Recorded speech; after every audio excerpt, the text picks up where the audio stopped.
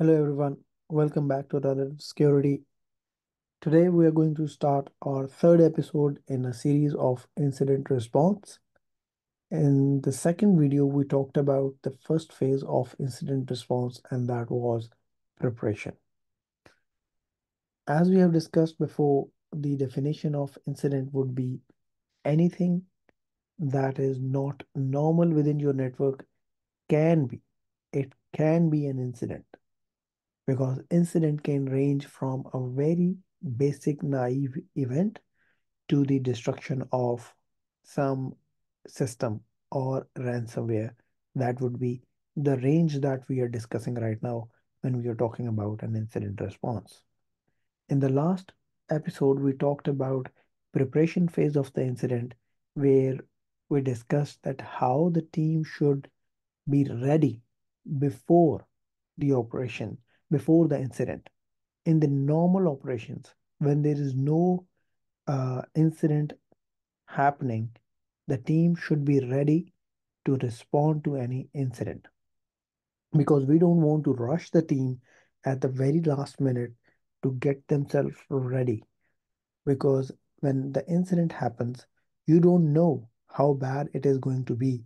So you want your team to be alert and be ready to respond right away before the incident gets way bigger than you can respond to. Today, we are going to talk about the second phase in the um, incident response life cycle, and that is identification. So, this incident response phase involves recognizing and understanding potential security incidents within an organization.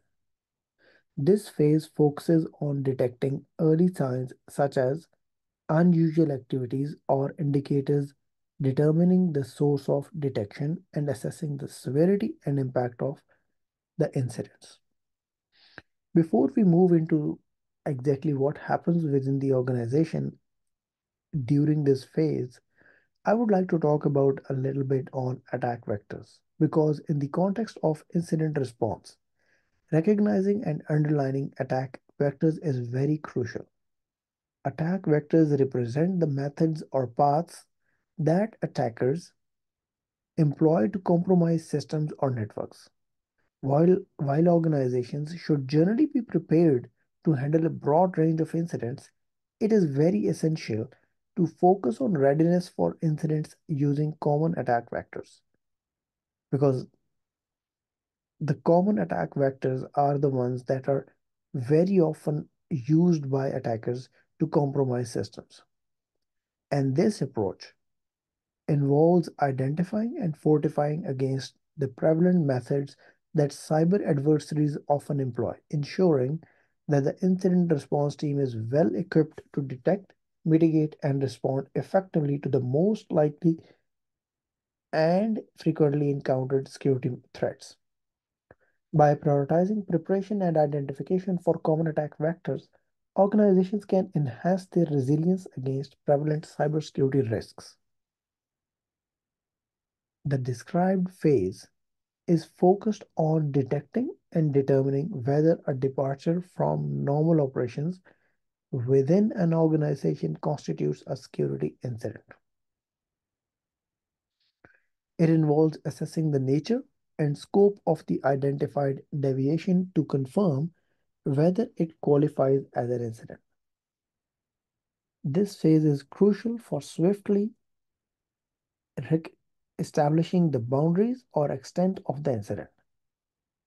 So the goal overall is to efficiently identify security incidents, enabling a prompt and targeted response to mitigate potential risks and minimize impact.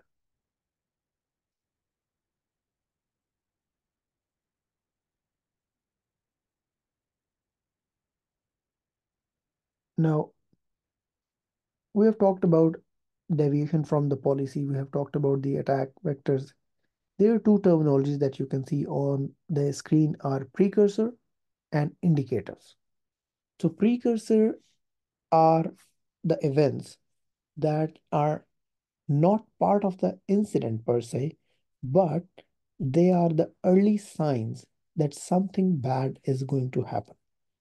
Not necessarily bad, but something different, something which is not normal within the organization is happening or will happen. That is the precursor events. The indicators are the ones that happen to tell you that the incident is currently in progress. The system has been compromised and the attacker is currently on the system performing their incident. So how do you detect the incident in your environment? The detection of the incident is very simple and straightforward because it can be achieved through various means such as utilizing a SIEM solution or any other security alert from your firewall, IDS, IPS, or even though it could be manually initiated from a help desk. These all tools will enable organizations to proactively monitor and analyze network activities, facilitating the early detection of potential security threats.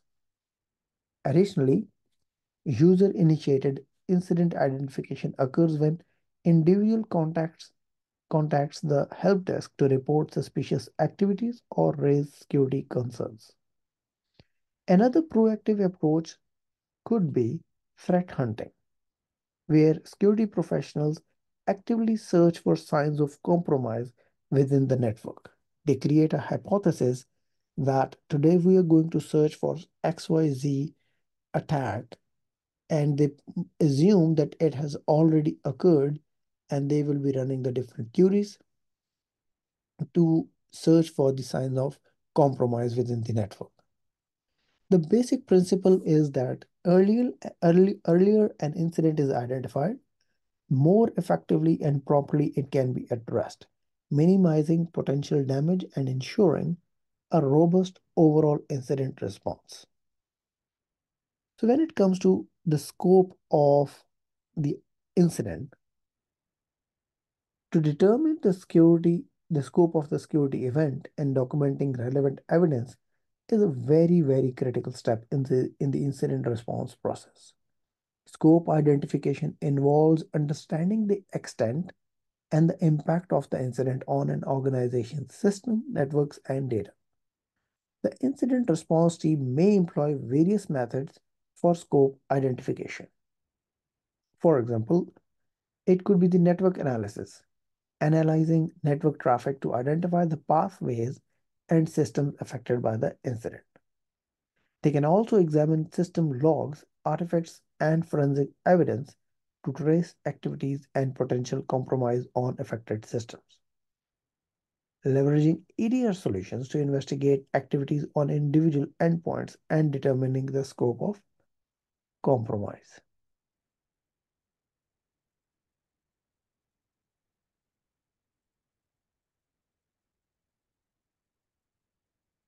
So once you have the source of detection, and then you have analyzed a particular incident and identified the scope of that particular incident, the next is to prioritize the handling of the incident because it is perhaps the most critical decision point in the incident handling process. Incidents should not be handled on a first come, first served basis as a result of resource limitations. Instead, handling should be prioritized based on the relevant factors, which would be functional impact. Incidents targeting IT systems typically impact the business functionality than that those systems provide, resulting in some type of some type of negative impact to the users or those systems. Information impact of the incident. Incidents may affect the confidentiality, integrity, and availability of the organization's information. For example, a malicious agent may exfiltrate sensitive information. Recoverability from the incident. That's the last one.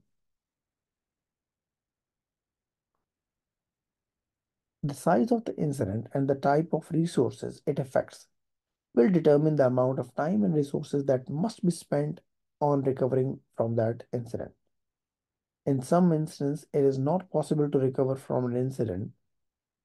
For example, if the confidentiality of the system and sensitive information has been compromised, and it would not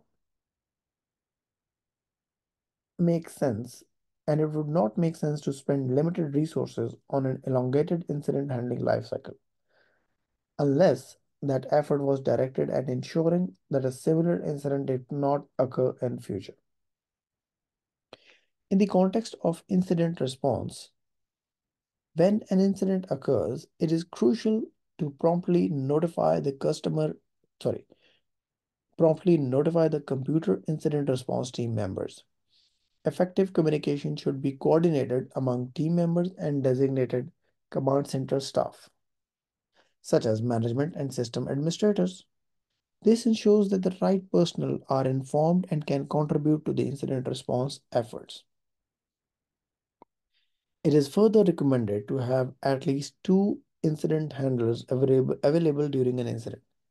The primary handler focuses on identifying and assessing the incident, making critical decisions. Simultaneously, the secondary handler supports by gathering evidence and assisting in the various response talks. This dual handler approach enhances the team's capability to manage incidents efficiently, ensuring a more thorough, effective response. That's it from the identification phase of the incident response. If you like the video, Please don't forget to like, subscribe and share this video channel. Thank you so much for your time. Take care. Bye-bye.